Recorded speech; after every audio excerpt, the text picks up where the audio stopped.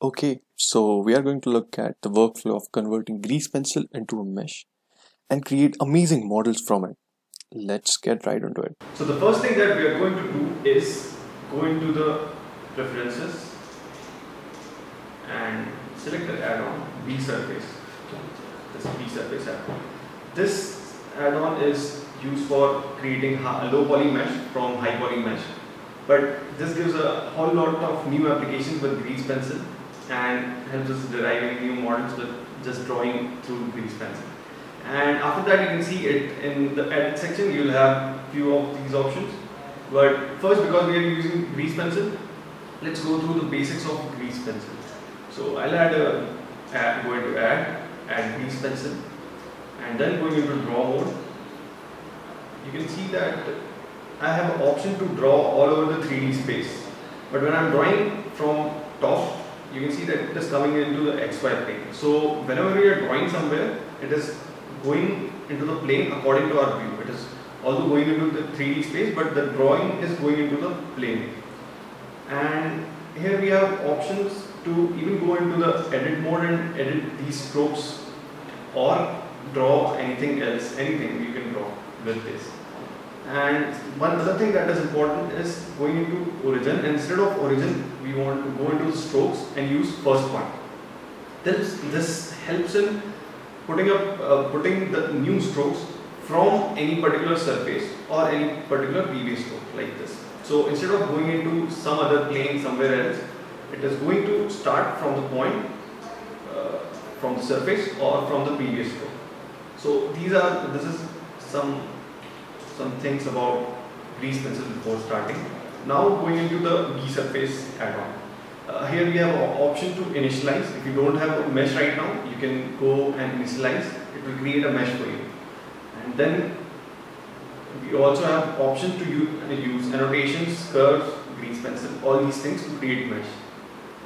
Now I'll go and add a grease pencil, go into draw mode, and now you'll see how amazing it is.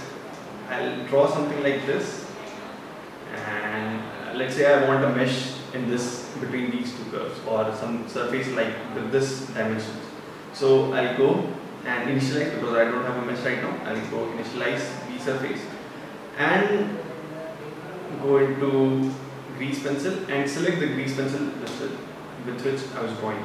So now I'll add surface and you'll see that I have a mesh here and you can play around with the number of crosses, number of follows. Let's say you want to have a high poly mesh with exact exact details of what you drew with grease pencil. So that is also possible here. Draw mode. We also have option to create some cylinder kind of things. So if we if we go if I go into draw mode, draw this cylinder kind of thing, and then again go into select 3D cursor here. Go into top mode and put the 3D cursor somewhere around here, maybe right.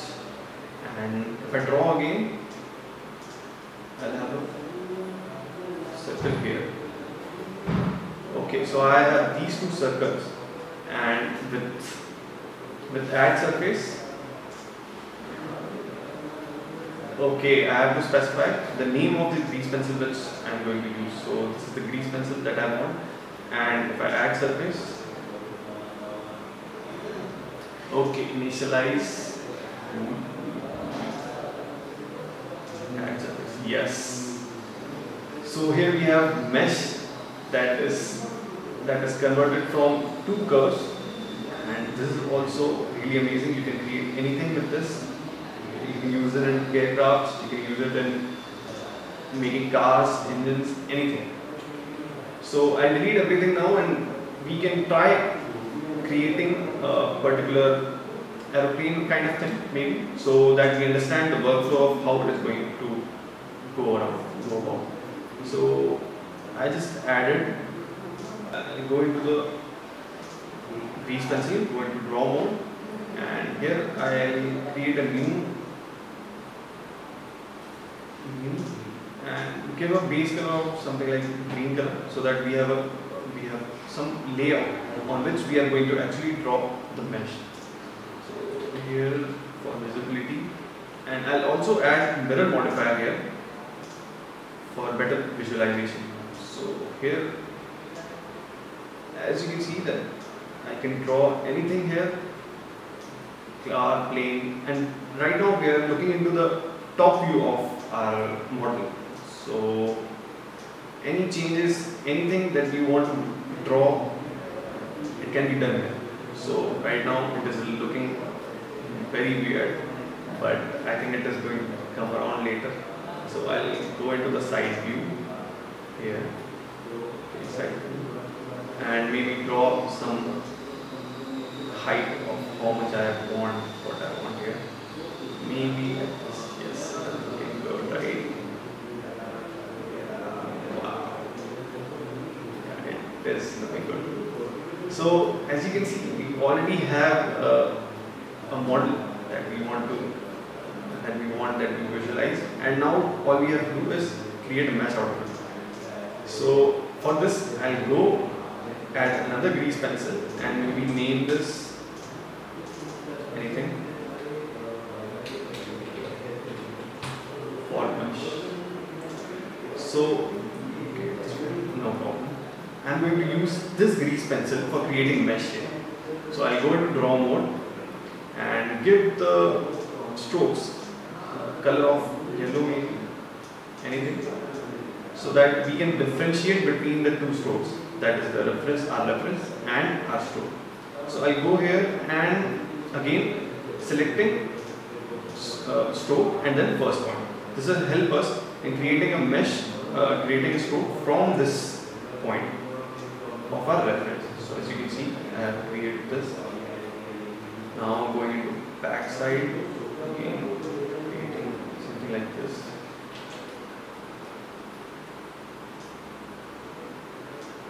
Yep. Looking good, looking good.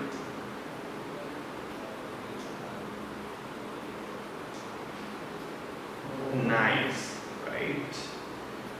What all we have to remember here is that whenever we are drawing a stroke and we want it to be used for creating mesh, it always should be in the same direction. That is, if I'm drawing from top to bottom, then all the other strokes should also be from top to bottom. So that we can create uh, mesh. So I'll go into object mode, go into edit, because I don't have a mesh right now, initialize, and go to grease pencil and select for mesh here. Right. So, so now if I add surface, as you can see, it is amazing that any shape that I want, any kind of shape that I want, I can create here, draw some curves and uh, draw some grease pencil and I have it here. And I can also increase the follow, the curve, crosses, etc. So we already have a great looking fuselage here. Now we can go on and start creating creating the wings here. So I go into draw object mode, select grease pencil, go into draw mode and maybe create some wings kind of thing. Less weird looking than the reference that we are using right now. So I go into object mode, select the mesh, okay, select the mesh right now, which we have right now, go into edit mode and maybe select some points here. So now all you need to do is again add surface. And as you can see it extruded from these points and created a mesh out of it in the direction that we wanted. So as you can see it made it is so easy now to create any structure, anything out of this. So I go and go on and create the next next wing that I want here maybe a bit bigger than the previous one. So now going into object mode, selecting selecting the mesh and going into edit mode and selecting the points from which I want to exclude this. Yes, this this is enough. And then add. Wow, look at this, look at this way. Amazing, right? So again, we have infinite options that for which we can use this, create anything out of it.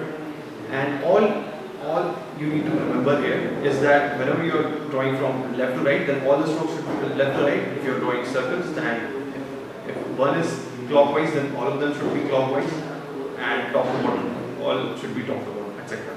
So this will help in creating correct kind of mesh. I'll go on and create, uh, give it a modifier of mirror modifier, add a mirror modifier here. Yeah, look at this. We have a graph here. So we are looking at the workflow of F35 which I made with the same process, same workflow. And as you can see, it is super amazing and it's the same which we saw earlier that first you have to create a layout of what you want to make. Once you have the layout ready, you can start using another grease pencil for creating the mesh. Always remember to make the strokes in the same direction or same clockwise or anti-clockwise and as you can see it is so easy to put down thoughts. And it is so easier to just create anything out of just drawing. And it's always been very difficult to draw on draw or show 3d stuff on paper and pen. But now with grease pencil you have the ability to draw like as if it's uh, a plane or you're drawing in it on the pencil and paper and also you have the ability to make it into 3d so this is the most amazing thing grease pencil you can create anything from it. At last i would like to say don't forget to like and subscribe because more videos are on the way. And also check out my instagram. I'm posting every day and you'll love the content